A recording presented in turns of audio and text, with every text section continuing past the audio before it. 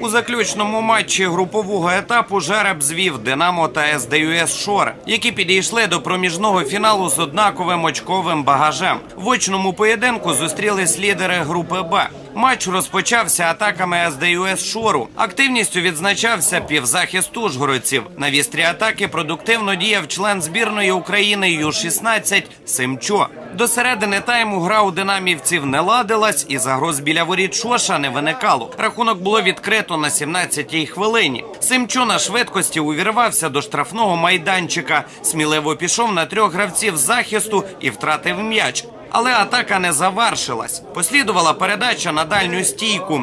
А Попша в один дотик переправив м'яч у сітку воріт. Кияни оговтались десь близько 25-ї хвилини. Зусиллями Зубкова, Ярмоленка, Убадова динамівці провели кілька небезпечних атак.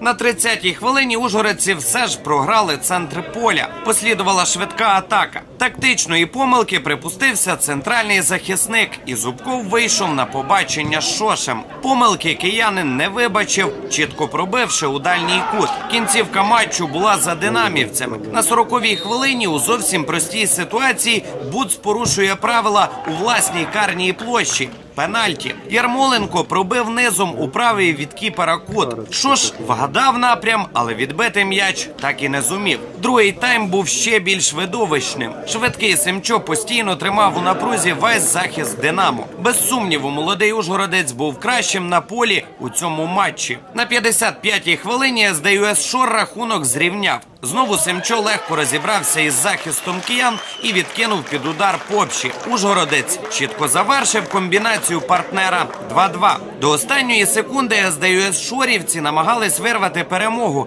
але кияни вистояли. Нічия 2-2 вивела до фіналу саме Динамо.